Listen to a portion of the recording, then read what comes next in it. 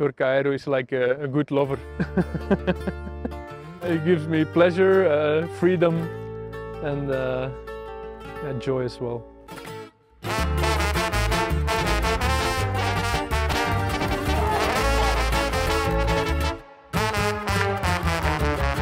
Vite, aéro et rigide.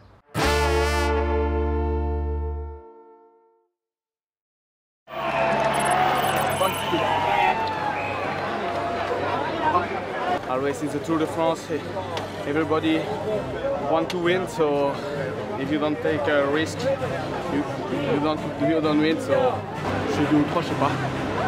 Trois, c'est super. Parce que ouais, c'était vite.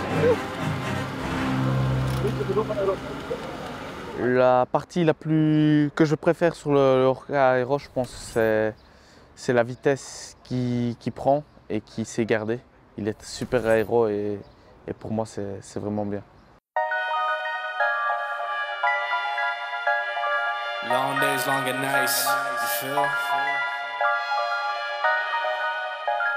Now I don't even know, lady. Take it, go.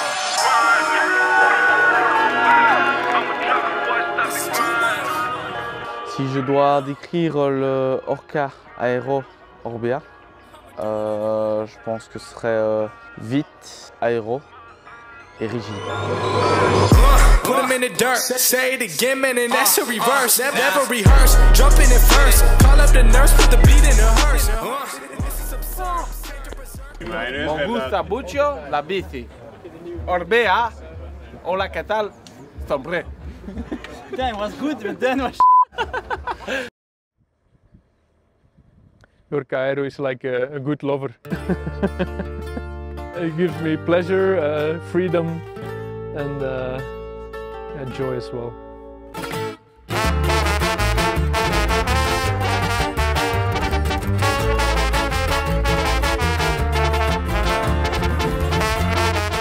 Jorka is just a pretty versatile bike.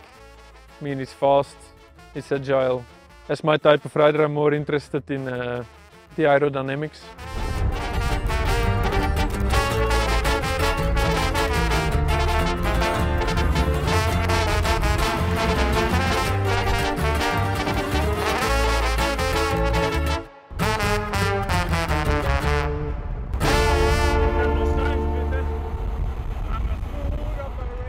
It's more a more brute style, you know. The Aero is not like the, the real finesse, but I like it more and uh, just uh, proven to be the king of them all.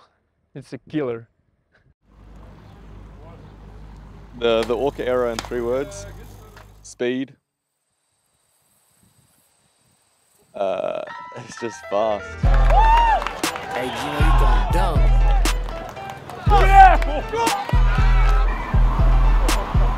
It only needs one word really to describe it. It's just super fast, especially in a straight line. Fast, fast, fast. Yeah. I'm going dumb. I'm trying to live it and stop. Get anything that I want. Whenever I want. Oh, that was close. Maxime describes you as a Swiss knife, that you are like uh, capable for doing almost anything. That's a really nice compliment. Yeah, that's been my goal this year is to become more well-rounded in the climbs, uh, racing Ardennes and stuff, and then obviously the sprints. I've done a lot in the past with Caleb, and now with Arnaud, and that's what I enjoy. That's what I'm sort of naturally good at. Um, yeah, I'll take that Swiss knife compliment. That's good. so so every rider has his his um, own physical capacities. It's like you're born with this. You you spoke about Jarrad, for example. It's a good example. He can do a little bit of everything in positioning. So then is the question: Do we use Jarrad for a sprint lead out? So we have to train him more like explosive to have more power, or do we train Jarrad to survive, for example, a big mountain and then place Maxime for the second mountain? And then you need another approach because surviving mountains, then you have to um, train differently than uh, doing a sprint lead out. It's the same you could you could do with, for example, with Arnaud. You can make him better in the climbs, which should make him a little bit less good in the flat stages, like pure explosivity. Or you can try to make a pure sprinter of him, but then he will be less in climbing. But it's not his nature to be a pure sprinter. So then you work a little bit against his nature. So every rider has his nature, and you can bend a little bit towards the parcours, but um, it also has its limits. So Maxime will never win a bunch sprint in the Tour, and Arnaud will never win a mountain stage. That's super clear.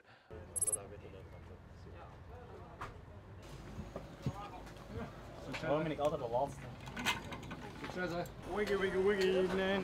Why did you choose today the aero bike instead of the climber bike? Because we have just 2000 meters elevation. And the final climb is uh, not too steep, so speed will be high. So I haven't changed a lot on the, the Orca towards the Tour because uh, I think it's dangerous before a big goal to like changing things because uh, the stress already gets high enough because the things that are coming up so it's like better to stay in the trusty position and uh, not change too much. So in the tour, there's a, you have sprint stages, you have time trials, you have mountain stages. So every every stage has its own setup for the riders, depending on uh, the depth of the wheels, the gearing, uh, even the setup of the bike. Uh, it all comes down to, to millimeters, saddle height, uh, whatever. Uh, so every day we ask for the request of the riders, they give their preference, and in the evening we make sure that preference is like they, they want it. Examples? For example, Arnaud de Lie, what he likes for the tour on his bike, uh, he likes a light bike, uh, stiff as possible. Sometimes he changed from a 54 to a 55, 56 even for a sprint. Uh, wind in the back, uh, slightly downhill. Uh, this kind of stuff is what the riders ask of us.